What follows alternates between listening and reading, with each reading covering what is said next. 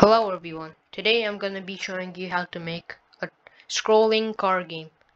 So something like this, uh, so the background moves as we drive our car, and well there's no objective to this car game either, like the last one that I made, uh, but well still you can add uh, someone to race with, you can make it two player, you can well add a shop for upgrading cars and well a lot more stuff like that.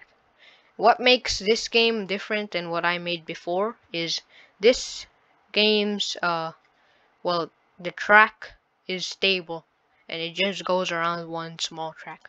But in here we can make bigger tracks and well it's just more realistic.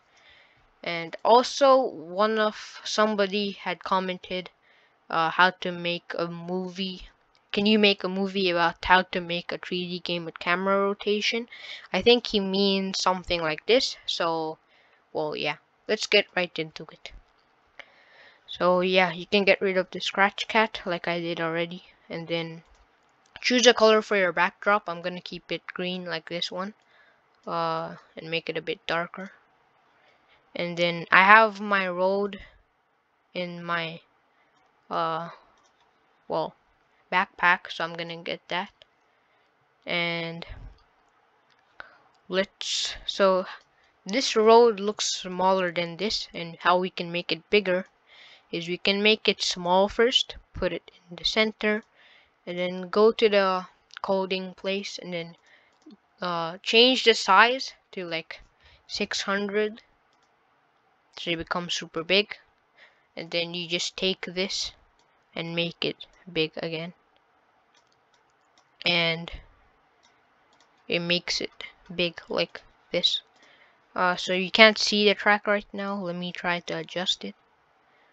And actually you can put one the track one the part of the track in the center. So if you don't know where the center is it shows in this uh, thingy if you can see it here. So put the road so that it's overlapping the uh, the center. And yeah you can see the road uh, you can make it bigger by making it smaller and then increasing the size again but I think I'm okay with this width of road. So let's start with uh, well actually let's get our other sprite. I also have it in my uh, backpack.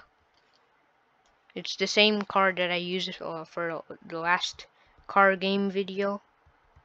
And we're just gonna well let's get uh, start making the code.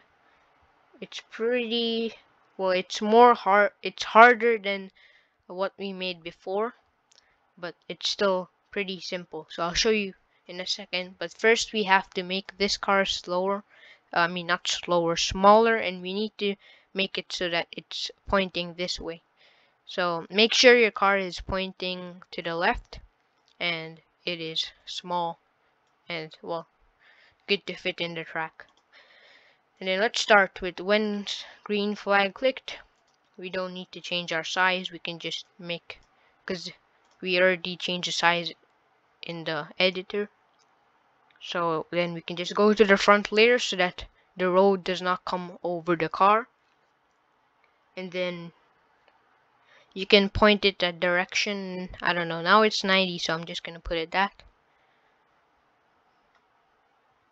Uh, point in direction 90 and then let's get two variables called x speed and y speed.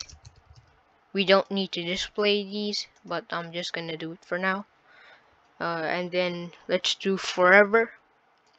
If uh, we're touching the this thingy whatever color that is that's a shade of green we can get that by the color picker uh so let's get let's get that color and then let's do set speed. Let's do we need another uh, main speed variable. I'm just gonna name it speed. Uh, we can set that. I'm gonna hide the speed variable isn't isn't that important to display.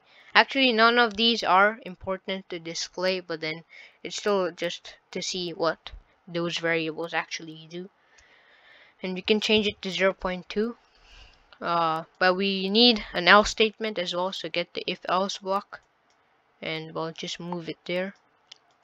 And else we set speed to 0.6 and then let's do if we uh, press up arrow key. So key up arrow pressed. Then we're gonna change x speed. Uh, by. So now here comes some trigonometry which is kind of complicated but uh, I hope you understand it. So it'll be the sine of direction.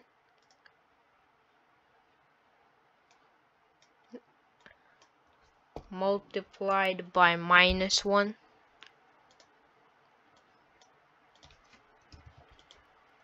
and that multiplied by speed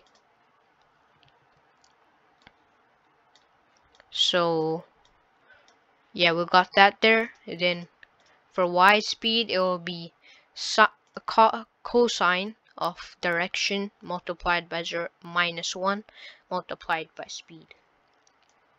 Now let's make the code for down arrow. So if down arrow pressed, then we just need to get rid of the multiplied by minus 1 thing. And I think that'll be it.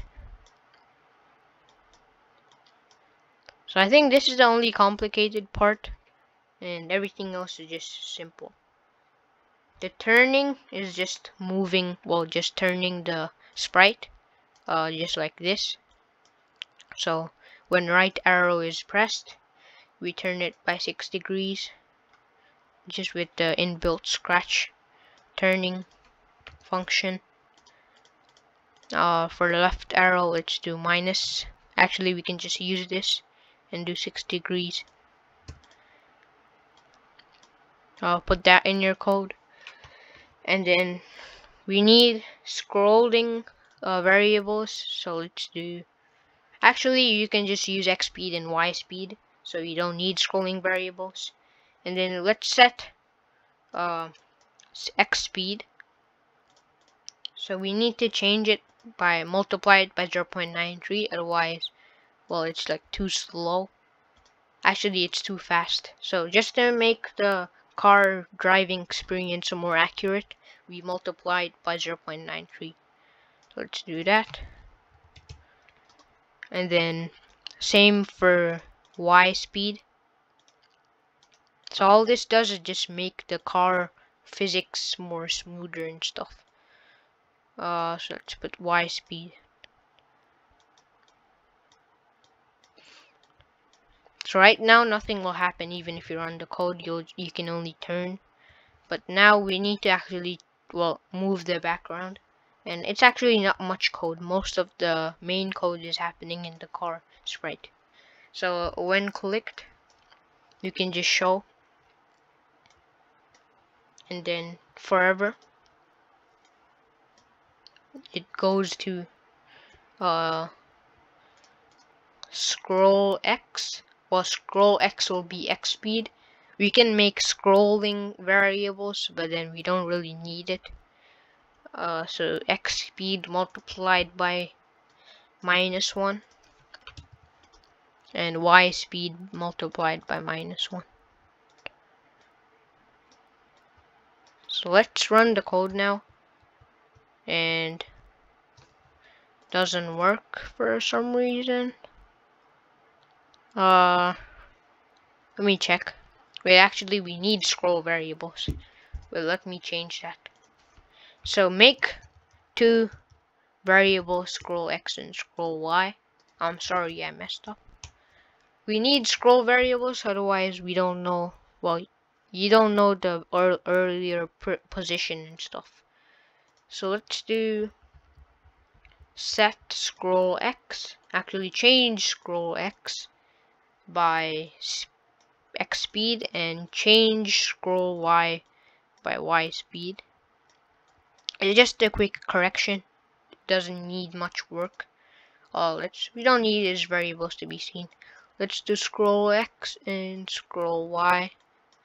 Now it should work. Yeah.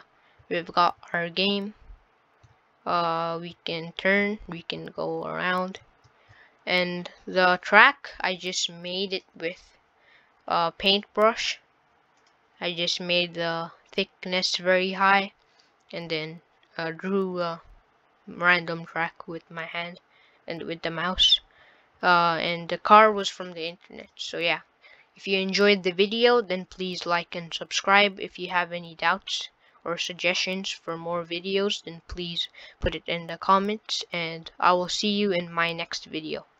I also make Roblox videos so please check them out if you're interested in them. Bye